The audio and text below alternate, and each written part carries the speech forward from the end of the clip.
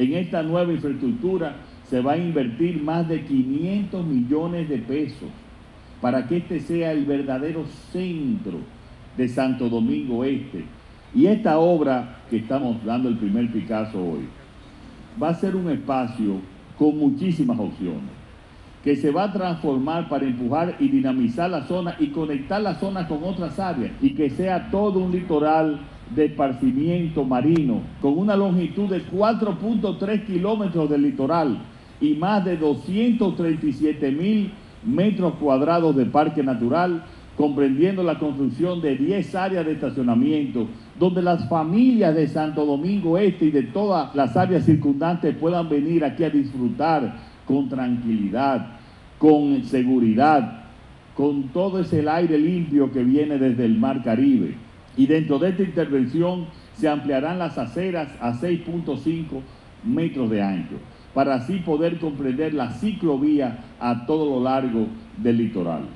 En la mañana de hoy damos el primer Picasso de este malecón de 4.3 kilómetros,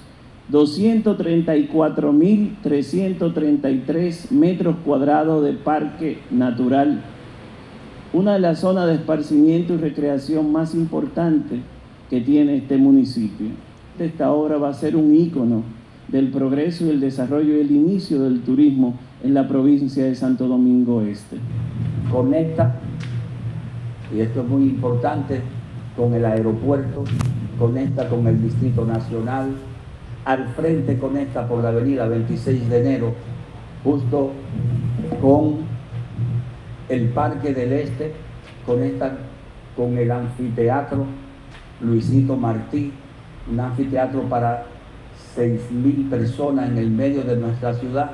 conecta con la parada de la cultura, conecta con la Plaza Juan Pablo Duarte. Todos estos puntos se pueden visitar caminando a pie desde aquí cualquier tarde.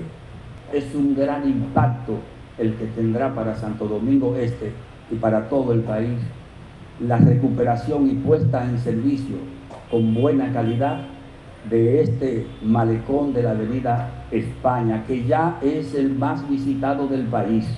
Las transformaciones más importantes son aquellas que impactan en el día a día de la gente, no necesariamente las que tienen una mayor inversión, sino las que impactan en mucha gente, las que hacen la vida de la gente más cómoda o que le da opciones, que le ayudan a la calidad de vida, que mejoran sus oportunidades. En este gobierno invertimos reactivamos, generamos empleos y cambiamos la imagen del país y de sus ciudades.